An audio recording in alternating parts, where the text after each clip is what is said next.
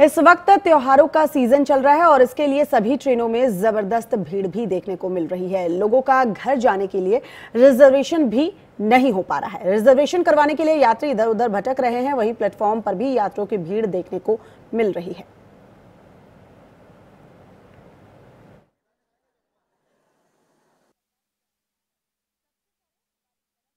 त्योहारों का मौसम है और ऐसे में हर कोई खुश है और ऐसे में हर किसी को अपने घर जाने की जल्दी है।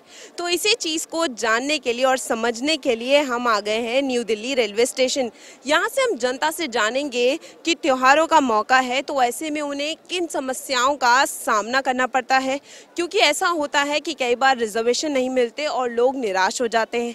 इसी के चलते इंडियन रेलवेज़ ने भी फैसला किया है कि 24 अक्टूबर से लेके 4 नवंबर तक ट्रेनें चलाई जाएँगी। तो चलिए जनता से जानते हैं कि उनका इस पर क्या कहना है और कितनी मुश्किलों का सामना उन्हें करना पड़ता है। त्योहारों का मौसम है ऐसे में किन किन चीज़ों को किन किन समस्याओं का सामना करना पड़ता है?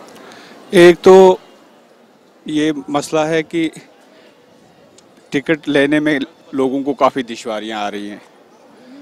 और टिकट अगर मिलती भी है तो वेटिंग में रखी जाती है। तो जिसकी वजह से फैमिलीज़ होती हैं बच्चे होते हैं काफ़ी दरबदरी का सामना करना पड़ता है।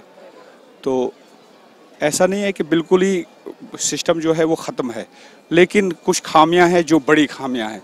रिजर्वेशन यदि ज़्यादा बढ़ाते हैं तो और अच्छा है ट्रैवलिंग करने के लिए, और हम लोग तो अभी तक तो रिजर्वेशन मिल जा रही है, लेकिन यहाँ पर यह है कि रिजर्वेशन आप पहले से चाहिएगा तो नहीं, तत्काल वो सब करना चाहिएगा जिससे कि पॉकेट से पैसा ज़्यादा लग जाती है, ट्रैवलिंग तो हो जाती है, लेकिन पैसे की बहुत ज़्यादा खपत हो जाती है। ट्रैवलिंग टाइम ना ओला मिलती है, ना टैक्सी में भी बहुत ज़्यादा भीड़ रहती है और यहाँ पे गेट में भी यहाँ वैसा सुविधा वो नहीं है फैसिलिटी कि डायरेक्ट आराम से निकल पाए लोग। रिजर्वेशन तो बहुत ज़्यादा प्रॉब्लम फेस करने पड़ते हैं फ़र्स्ट सीज़न के दौरान। ना फ़्लाइट में रिजर्वेशन अच्छे से मिलती है मतलब वो भी महँगी हो जाती है और ट्रेन में तो मिलती ही नहीं है। किस तरीके से लोगों ने अपनी समस्याओं को सामने रखा और खुशी भी जताई कि अगर ऐसा होता है तो उनके लिए काफ़ी अच्छा होगा। वहीं कुछ लोगों ने कहा कि घोषणा तो हो जाती है पर ऐसे कदम नहीं उठाए जाते। कैमरा पर्सन अमित के साथ मैं Farah Khan R nine TV Delhi